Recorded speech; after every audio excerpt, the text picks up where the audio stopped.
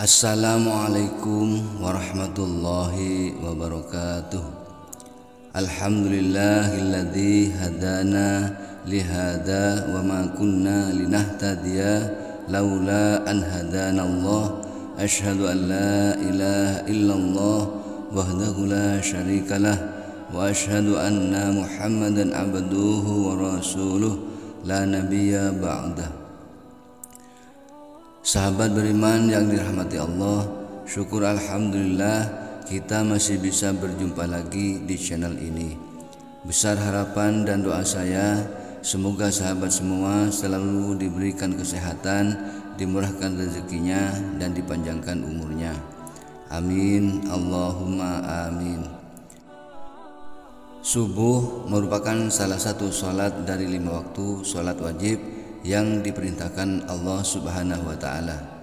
Sebagaimana Allah taala dalam firman-Nya, "Aqimis salata liduluki syamsi ila ghusaqil laili wa qur'anal fajri inna qur'anal fajri kana masyahuda."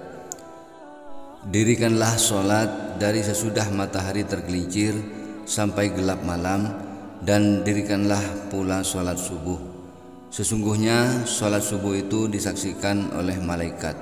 Quran Surat Al-Isra ayat 78 Meski wajib, saat ini sangat sedikit kaum muslim yang melakukannya.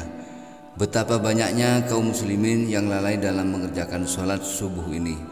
Bahkan mereka lebih memilih melanjutkan tidurnya ketimbang sholat subuh. Padahal banyak sekali keutamaan bagi orang yang mau mengerjakan sholat subuh.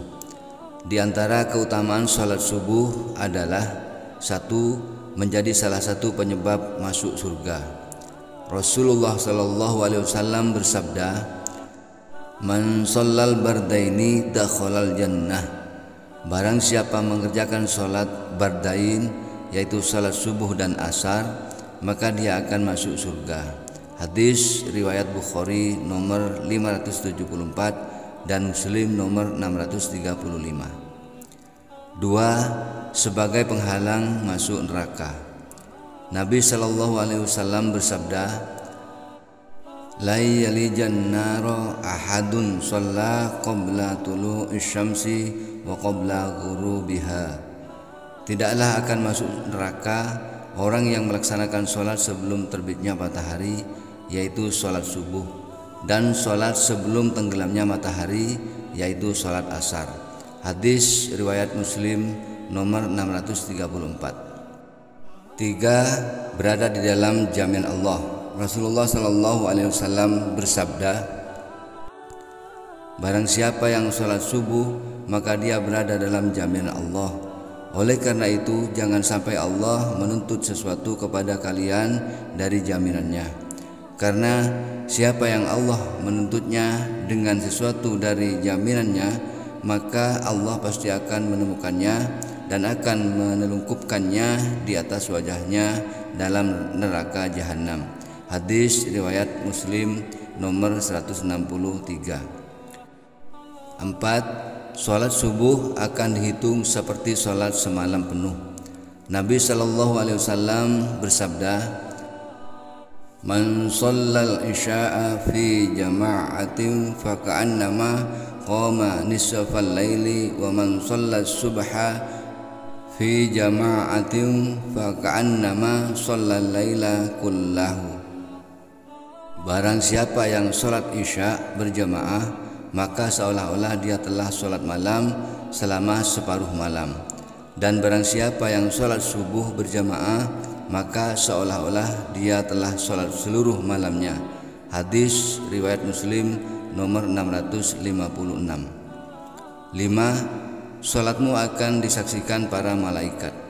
Nabi Shallallahu Alaihi Wasallam bersabda, wa tajmi'u malaikatul laili wa malaikatun nahari fi salatil fajri dan para malaikat malam dan malaikat siang berkumpul pada sholat fajar subuh hadis riwayat Bukhari nomor 137 dan Muslim nomor 632 Demikianlah keutamaan yang akan Anda dapatkan jika tidak melewatkan sholat subuh yang kaya akan pahala ini. Sahabat beriman yang dirahmati Allah, sekian pada video kali ini.